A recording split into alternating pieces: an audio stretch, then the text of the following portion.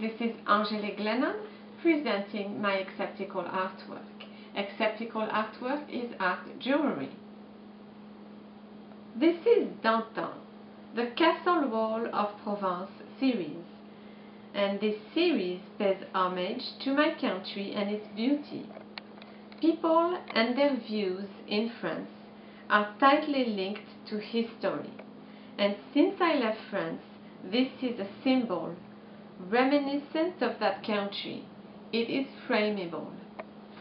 Here is a ring, a barrette, two earrings, a bracelet, this is the necklace, and this is the pin.